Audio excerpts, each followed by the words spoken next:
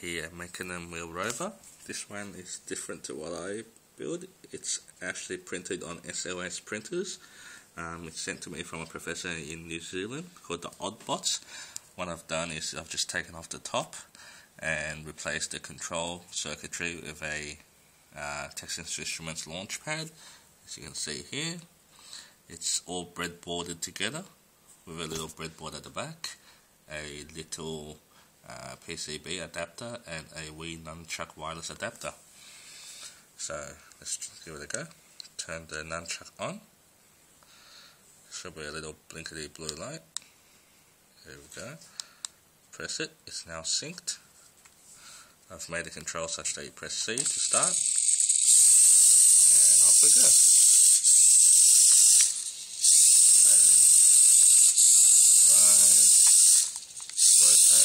Oops, I got the right rotate the wrong way. Rotate. Yep, I got the right rotate the wrong way. That's fine. That's very easy to fix.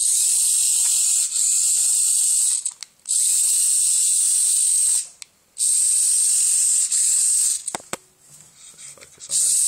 Forward. Back. Left. Oops, slipping on that gap. Right.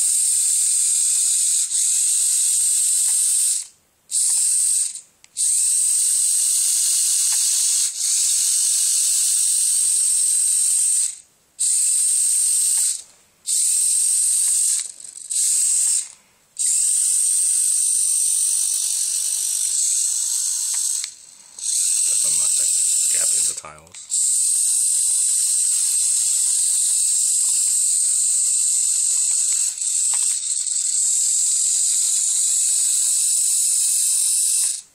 So let's take a look what's inside.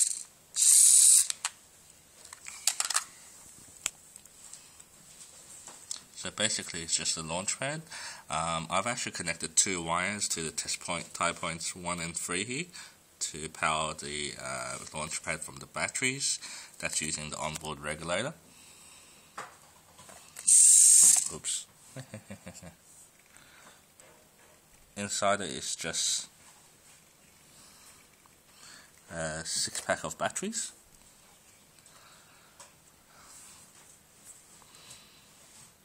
As well as a breadboard with a number of jumper wires, an adapter board, and the Wii Nunchuk adapter, as we said before, nothing else. So the servos are around $3.40 each. Um, that makes for around $12 worth of servos. And the wheels are printed, of course. That's 430 That's probably a dollar.